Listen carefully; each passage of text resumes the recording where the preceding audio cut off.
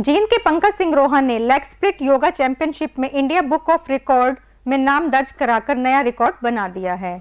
इस किसान पुत्र ने कहा कि उसका अगला लक्ष्य Guinness book of world record में नाम दर्ज कराना है।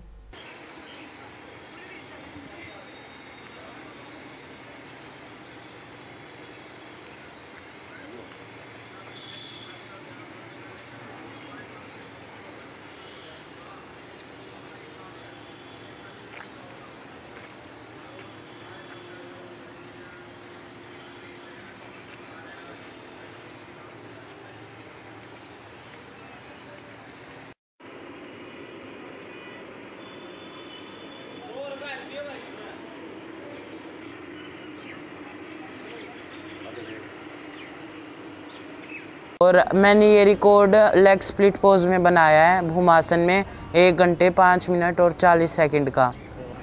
सर, ये एक क्लिनिक का बैक बैकटोर थी, लुधियाना, पंजाब से, उसका था चालीस बयालीस मिनट का था उसका ये रिकॉर्ड 2016 से योगा की प्रैक्टिस स्टार्ट कर रखी है सर, और अब छः साल हो चुके हैं मुझे योगा करते हैं, और कई नेशनल इंटरनेशनल कॉम्पिटिशन्स में भी मेडल आ चुके हैं।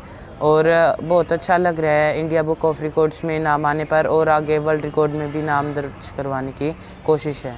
सर पापा का नाम है ब्रिजबान सिंह रोआ और वो खेती करते हैं और मम्मी का नाम है श्रीमती नीरू जी और वो हाउस वाइफ हैं।